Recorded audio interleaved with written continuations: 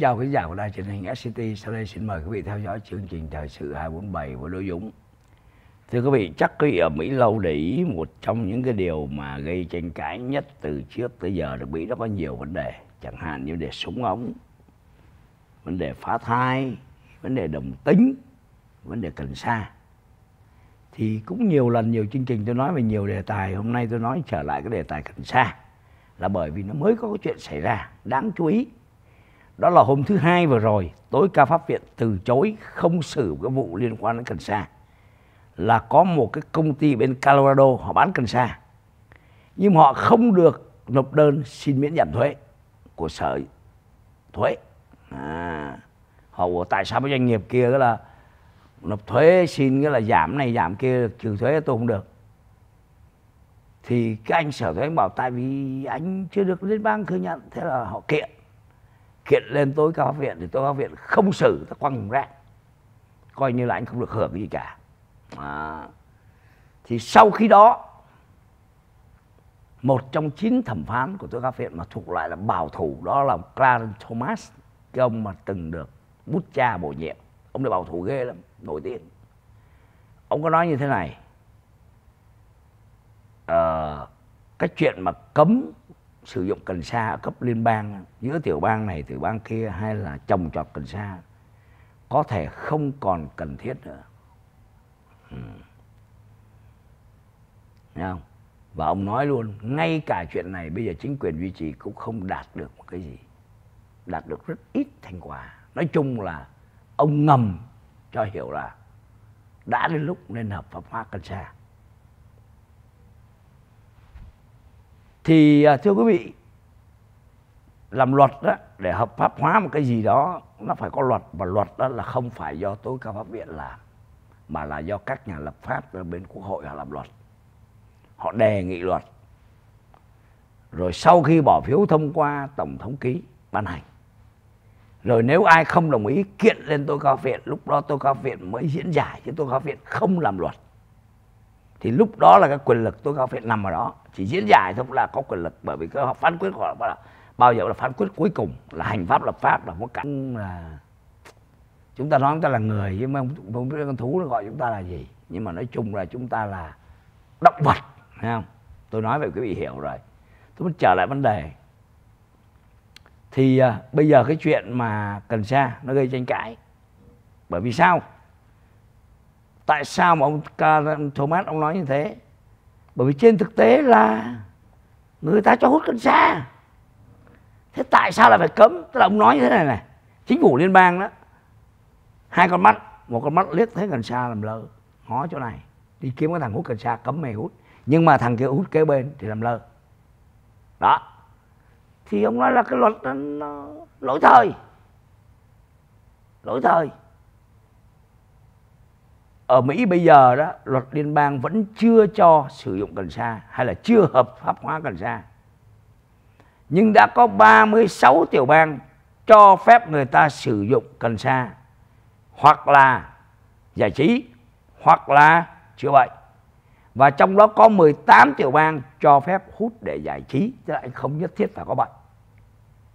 Không nhất thiết phải có bệnh, hút cần sa luôn, thậm chí California cho trồng 6 cây luôn mọi người chồng 6 cây tất nhiên phải trên 51 tuổi hay 18 tuổi, tôi quên mất rồi nhưng đại khái vậy.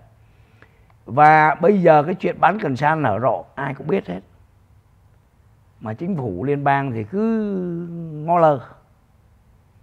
Mà quý vị biết là cần sa ở Mỹ một năm doanh số như 17 tỷ rưỡi, khoảng 17 tỷ rưỡi. Colorado không, đây đây đây nói các cái tiểu bang này. Thấy không? Oregon 1 tỷ mốt này lắc quý sẽ coi toàn nước Mỹ 17 tỷ rưỡi. Thì giờ sao đây? Cách đây không lâu, hạ viện hoa kỳ đã thông qua một cái dự luật mà bây giờ còn kẹt trên thượng viện là không truy tố hình sự người hút cần sa nữa, hay là sử dụng hoặc mua bán cần sa nữa. Không truy tố hình sự nữa. Tức là hiện nay là nếu mà dùng cần sa mà liên bang là truy tố hình sự hạ viện đề nghị là không truy tố hình sự nữa coi như giống như cái chuyện mà vượt đèn đỏ với lại uh, chạy quá tốc độ thôi. Tức là nó là misdemeanor thôi. Hạ viện đã đề nghị điều, điều đó cho thấy là càng ngày người ta càng ủng hộ cái chuyện này. Nhưng mà chuyện này nó có cái hay và cái dở đó cái chuyện gì nó cũng có hai mặt hết. Cái nước mà đầu tiên trên thế giới hợp pháp hóa cần sa là quý biết nước nào không? Uruguay. Một đất nước ở Nam Mỹ chỉ có 3 triệu dân thôi. Uruguay và đá banh rất hay. Đá banh giỏi lắm ạ. Cho hút thức cần sa là vô tư, đầu tiên trên thế giới. Bây giờ Mỹ có cho hút rồi, bây giờ 36 tiểu bang cho rồi nè. Trong đó có 18 tiểu bang cho hút chơi, không cần có vậy người ta lo ngại. Lo ngại đủ thứ. Thứ nhất, những người chống đó, người ta bảo nếu bây giờ cho hút cần sa đó thì tụi nó phê. Nó phê vô thì nó lái xe thì cũng không khác gì xe rượu. Mà xe rượu á, cảnh sát chặn lại cho người đó bây giờ, cần sa chia cho người. Đó tại vì hút vô người lênh đênh như là nghe nhạc trên xe, lái lơ đánh họ bảo rằng nếu mà cho hút như vậy, đường phố sẽ không còn an toàn nữa. Đó là cái là chống. Cũng bên chống nói luôn bây giờ mà hợp thức hóa cần sa thì có nghĩa là gì? Những ai bị tờ tù vì cần sa phải được thả không còn có tội nữa. Có đúng không? Tức là khi họ làm cái này đó, nếu mà họ hợp pháp hóa thì thường là họ có cái điều khoản đi kèm. Là những ai phạm tội này coi như là hồi tố lại tính luôn, chứ nó không tính ngay từ bây giờ. Nhất là bây giờ covid covid thì nữa là càng không muốn cho người ta ở tù. Mấy ông bán cần sa, mấy ông hút cần sa theo những người này, những người ủng hộ, bảo đâu có cái gì đâu, nguy hiểm, ông chỉ hút cần sa thôi, chứ có đâm cha chấm chú với ai đâu. Đó. Mà khi thả những cái này ra, người ta cũng lo ngại. Và ừ nó ngoài nó hút cần sa nó vô tù thời gian, nó thành ma cô, mất rồi ra rồi nó quậy. Tất nhiên chưa có bằng chứng nhưng cái này chỉ là tâm lý thôi, nhưng cái tâm lý đó nó có ảnh hưởng. Chứ không phải không. Rồi người ta nói như thế này, cũng bên chống luôn, bảo rằng là những người hút cần sa đó tôi không chắc là họ có đi qua hút thuốc phiện hay không. À thuốc phiện là cao cấp hơn à thuốc phiện hoặc là bạch phiến là cao cấp hơn.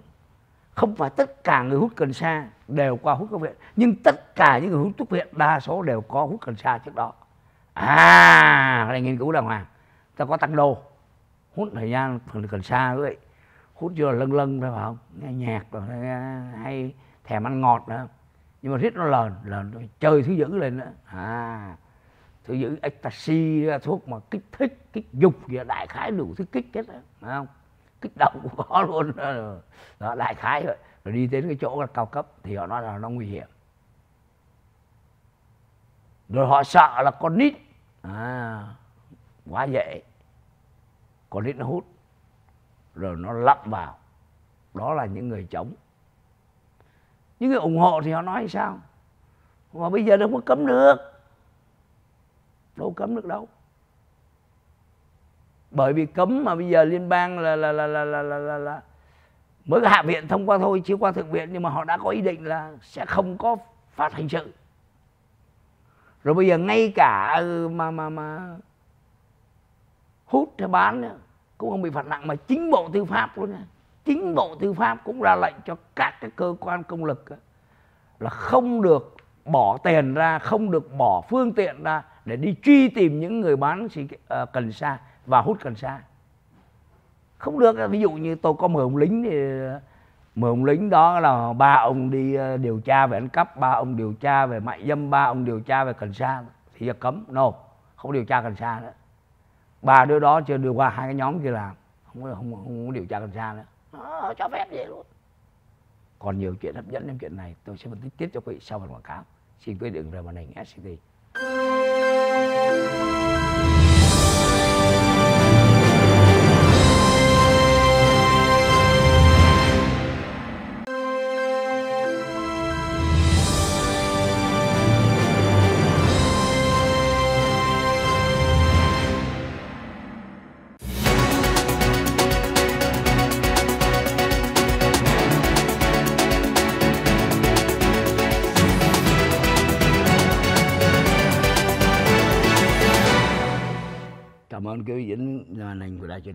City. Sau đây chúng tôi xin trở lại chương trình thời sự 27. Tôi đang nói về cái phát biểu của thẩm phán Clarence Thomas của tối cả pháp viện.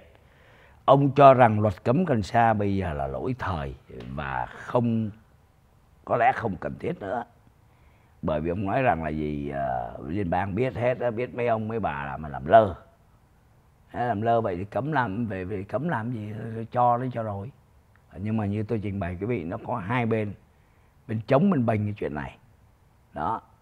Thì bên chống thì nãy giờ tôi đã nói nhiều về cái chuyện chống rồi. À, họ là tìm đủ họ có có nhiều lý do để họ chống mà nghe cần sa là họ sợ ghê lắm.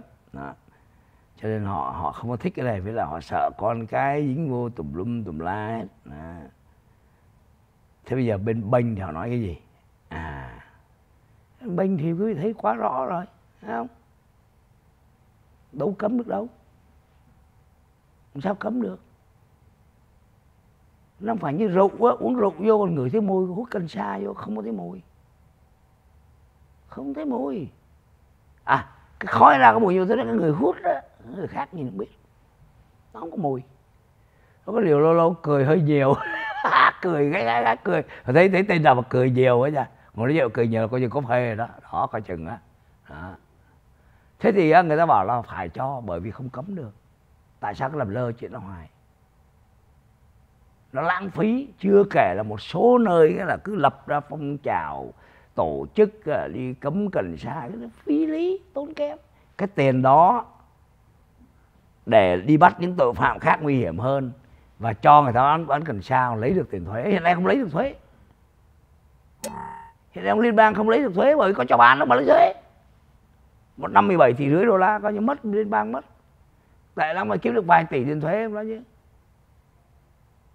Mà cái này còn nguy nữa này. Những người bán cần sa hiện nay, thấy không? Họ có tiền, họ toàn sử dụng tiền mặt không? Họ không có sử dụng tiền trách được bởi vì họ không bỏ vào nhà băng được. Quý hiểu không? Không bỏ nhà băng được bởi vì sao? Nhà băng là, nhà băng nào mà có cái ờ, gọi là bảo trợ, tài trợ ngân hàng liên bang, của của của liên bang là coi như anh không được bỏ tiền vô. Ví dụ quý vị đi vô các nhà băng ngân hàng quý vị thấy các ngân hàng lớn như Wells Fargo Bank này đều có cái chữ là FDIC FDIC gọi là Federal Deposit Insurance Corporation tức là được ngân hàng liên bang bảo trợ. Tức là khi anh bị lủng hay bị gì thiếu tiền là tôi có tiền tôi tôi tôi tôi, tôi cứu anh. Thì anh thuộc cái sự bảo trợ liên bang anh nào khoái ngân hàng nào khoái được liên bang bảo trợ có chuyện gì đứng được anh nợ mình.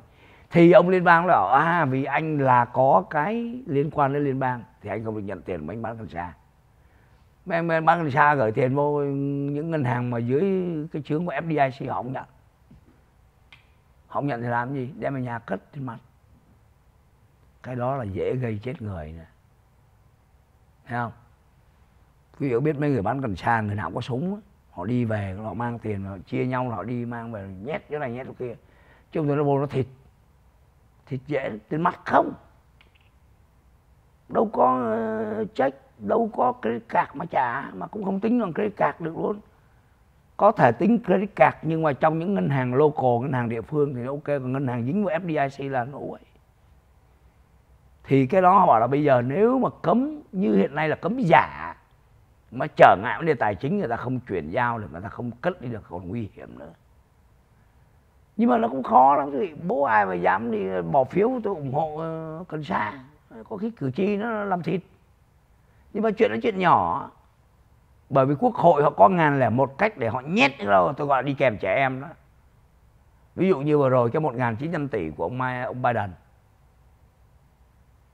Covid gì ông nhét vô đó vài chục tỷ cho nó là Obamacare. Tất kể quý vị đó bây giờ California là vô cơ mua cover California mà low income mà income thu nhập thật là thấp mua có đồng hai đồng tháng có đồng hai đồng quý vị. Rồi ông Biden cho tiền vào đó rồi. Đúng không? Ví dụ một tháng quý vị mua là 200 đô tiền bảo hiểm, thì quý vị trả hai đồng 198 đồng kia là chính phủ trả cho quý vị. Nó nó nôm ná là như vậy. Trong cái tiền 14 một ngàn chín tỷ nó kèm trẻ em vô đó. Thì cái này cũng vậy, nó muốn thông qua là kèm trẻ em vậy đâu có gì khó đâu. Mà họ muốn làm. Tại có một số người họ cho rằng hút cần sa là điều xấu xa. Mà thường thường mấy người mới bảo thủ. Mà họ không cho kèm trẻ em vô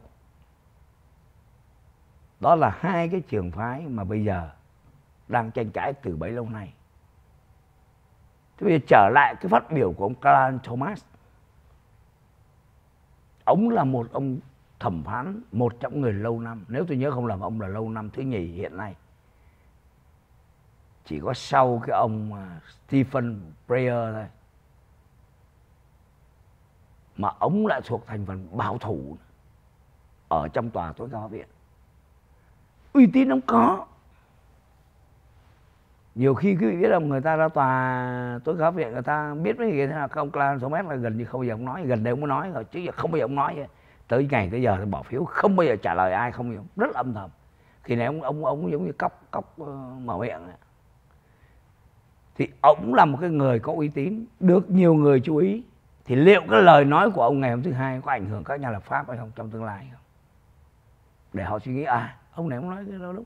Hoặc là sau này những người đó có cái cớ bảo là ông thẩm phán Clarence Thomas nói như thế, bây giờ tôi không theo, tôi thấy có lý. Mặc dù họ biết có lý mà họ không dám.